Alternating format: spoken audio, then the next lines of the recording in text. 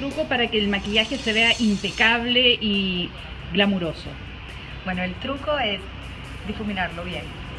Siempre debemos tener un maquillaje súper, súper impecable, difuminándolo perfectamente, que se vaya por toda la piel, que se funda, que no veamos dónde empieza y dónde termina, que no veamos líneas ni en la, ni en la, ni en la base, ni en la sombra, ni en el rubor. Es algo que va de adentro hacia afuera. ¿Qué consejo les daría a las mujeres que se están tratando de ver listas para una alfombra roja pero en su casa?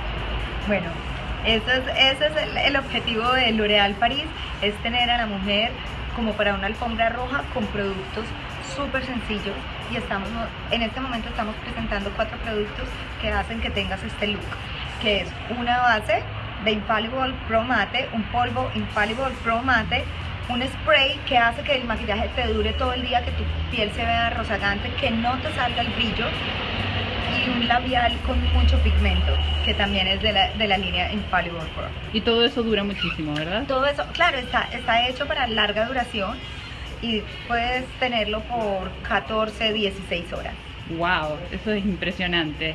Y para alguien que va a estar haciendo una aparición con televisión de alta definición, ¿qué consejo le darías para maquillarse bien? Bueno, que tiene que, o sea, que esto de que el maquillaje es para high definition, eso no es así.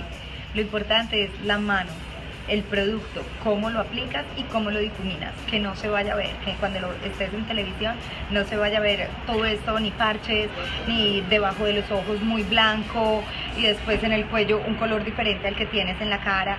Creo que todo se tiene que fundir, como lo decía ahorita, que vaya súper smooth. Bueno, muchas gracias Claudia.